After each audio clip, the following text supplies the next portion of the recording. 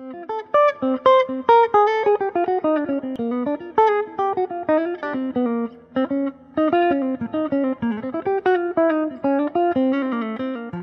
name is Frank Potenza, and today we're going to talk about learning tunes. Really owning a tune and just learning a tune are worlds apart. You can't bring fake books to a gig. I mean, that, that just is not acceptable. Do a complete melodic analysis of the tune. The chord that's given there is C, so the first note is the root, and then it goes to the fourth or eleventh, and then to the sixth or thirteenth against C.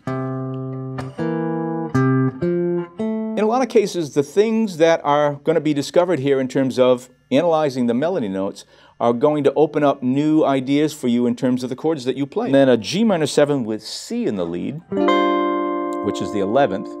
Again, something good to use on a minor 7th chord if you're not familiar with that. So we're going from 1 in the key of F to flat 7 7 to the key of F, and then we get to a D7 all right, which is a series of five chords, or cycle five, or circle of fifths. Does a quick two five, E minor seven flat five, A seven flat nine, back to D minor, and then there's that little bass line that goes D minor, D minor over C, which is the flatted seventh, and then G7 over B, which is the third of that chord, and then just a G7.